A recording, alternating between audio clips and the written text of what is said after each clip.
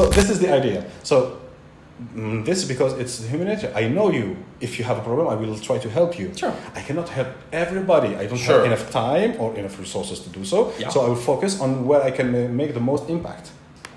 Totally. So this is my vision of patriotism. What is different from what I just said? It's the same uh, on the concept. Okay. The only thing I was like, my my problem is with the borders for Sure. third world countries because we didn't choose. Like for me, there will not. We do. We, sh- we shouldn't have a Morocco and Algeria, Tunisia and Egypt. We should have like uh, Numidia. Okay, so yeah, so yeah, cool. So you are you are explicitly saying that you are totally against what I just said, and and I believe that I am totally against what you just said. So we are like two. I mean, this subject is very interesting. I think. Yeah, you see, Uh, like, we do have a lot of things in common. Yeah, but there are some core things that but we really different. totally disagree. I mean, uh, I cannot disagree more. Uh, especially with boy, I do believe that we do have one country, one flag, and one you know one people. Even though I, I have been to Morocco and Tunisia and I know that we share so many things that when I went there, I mean, I, I, what's I was the difference between someone There's who is in no difference. and someone who is in like the city of Oujda, Masjid yeah, of course, there's nothing Like there is different. absolutely no freaking difference. Like these people We are more close than me and the guy in Oran. True, true. Yeah, of course. Same thing with Annaba and Tunisia. Yeah, sure. Yeah. Like what the hell? um, I I totally agree with that. I mean, uh, as I told you, uh, being. And when you go to the south, sorry, when you go to yeah, the south, like closer to uh, yeah. the people who are living in Tamanrasset and the people that are from Mali, there is no freaking difference. It's, the same in fact, things. no, in fact, it's they are the same people. They are nomads who go from this side of the border to the Just other. be- before the borders, I know that the borders have created a lot of you know mm, in problems, uh, not only in Africa but even you know in uh, in Europe. You know the thing between Germany, uh, between uh, Belgium and uh, Netherlands. You know the problems Yeah. and the. So I do believe that people should not be uh, should not really consider borders that much, but I do believe that we are in an era where you know the world is like shrinking and there are a lot of bad things happening and we're not like we used to do like a few centuries ago. And that we uh, we should be focusing more on our resources and on what we can do because it's became difficult to uh, to try to please everyone and try to do good things everywhere. I do believe that we should be patriotic, but I do believe as well that we should respect, love, and deal with other people. I'm not saying that they should be different to- to deal with. I mean, Moroccan people are, as you said, they identify themselves as Berber. Most of them, like we do. Uh, same thing with Tunisia. And I, I think that we should just like focus on the country before focusing on other thing because I do believe that the country is something that is not does not like really exist.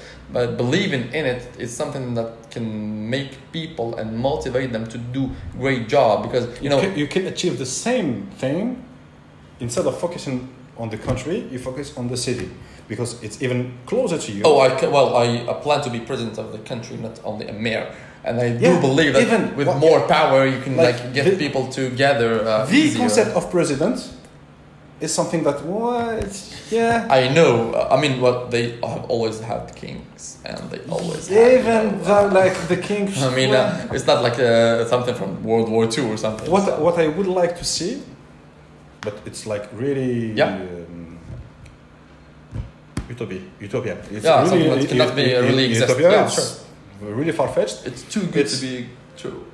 There is a book, a sci-fi book, Yeah. uh, from uh, A.E. Van Vogt, which is the word of the A with a bar on the A, like the non-A. Yeah, sure. And the A stands for Aristotelicism. Okay. So it's the word of the yeah, non-Aristotelicism. sure, yeah, sure. And the basic thought is that like Aristotle uh, put the concept of axioms. Sure. Like if you want to build something new, you have to build it with uh, on something that pre-exists. Yeah. Like we define the numbers, we define the language. These are axioms that Yeah, exist, it's and you don't have to go back Yeah. and work on them. that's in math. Axiom. Exactly. It's that concept. So and you build on this like we built uh, technology on previously built Sure. other technologies and. Uh, uh, and Turing and and you go everything. Yeah, forward keep going. the non-Aristotelists say this is not not real. It's just like it's more complex. It's it has more facets. The chair is not only a chair. The map is not the country. Like the map is a representation of the country, but Sure. you can also use it, use it to wipe your face with. Well, yeah, yeah. the chair you can sit way, on yeah. it, but you can use it as something to go up. You can use it as a weapon. You can use. You see, all true. these possibilities. This is like it's a more broader co- co- True, concept. true. So, for example, Newton is an, uh, an Aristotelicist Yeah. because it was fixed. Yeah. But Einstein, no, he was He used- non-Aristotelicist. Yeah, sure, sure. So, and in this uh, in, in this book, they had a society that that were that was governed by like a world president, but he has no other role than like being there, Yeah. like no power, no decision making. By the Queen. All the deci- like like the Yeah. British Queen, you had a machine, like they call it the machine. Yeah, I think I uh, did uh, hear something. And this machine is like every year, every year you have like the machine contest. And you go to this machine, you take a series of tests and exams. And it, uh, uh, it spreads on 60 days. And when you fail, you go out like uh, one day, two days, three days, Yeah, sure. till the 60th, uh, 60th day. And the more you advance, the more you have a great position, a great job, or anything Sure. Regarding like not only your intellect like what you can do how you think everything is taken into Yeah. account so you, you will get like your status regarding the tests and if you go to the 60th day then you are eligible to go live on venus Alright, cool. if you take this and you compare it with uh, the the Marxism, in fact, Venus like was the symbol for uh, like the perfect life, where the the the achievement of anarchy, but not anarchy in the sense like everything is fucked up. Yeah, Anarchy in the like. in the concept of every everyone knows his place and does well. Sure. Yeah. So there is nothing to say like I will not come to you and say you have to do this. No. You know what you have to do. Yeah, sure. So they terraformed uh, Venus and they made it uh, habitable, so the people uh, that live there. And our hero goes there and lives there. So there is no police in this world. There is no uh, government in this world. Like everyone is doing his job, his best, not because he's forced to, but because he likes to, and he knows from the machine. The machine proves to you that here is what you like to do and Yeah, know yeah. well to do and everything regarding cool. your what makes you. Like it's something that will give you uh, self uh, awareness in a Alright. sense, and you will have a happy life regarding this. It's completely utopian, Of course. but this is the kind of things that I want to achieve. Like I hate telling to people, you have to do this.